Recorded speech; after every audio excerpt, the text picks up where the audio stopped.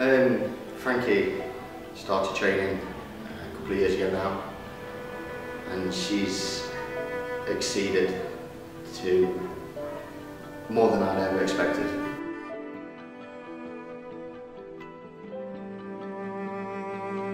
She's achieving the belts, she's, she's going to competitions, she's coming away with medals, trophies and she's very inspiring.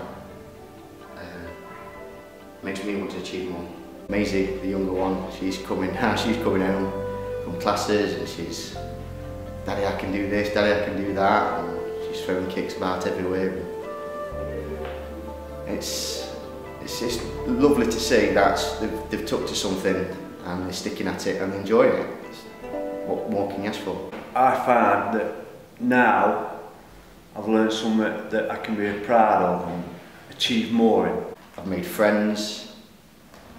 Um, my wife's inspiring. She's had uh, back problems and she's training. And it's just an ongoing thing. It's this kind of thing you, you start here and you get hooked.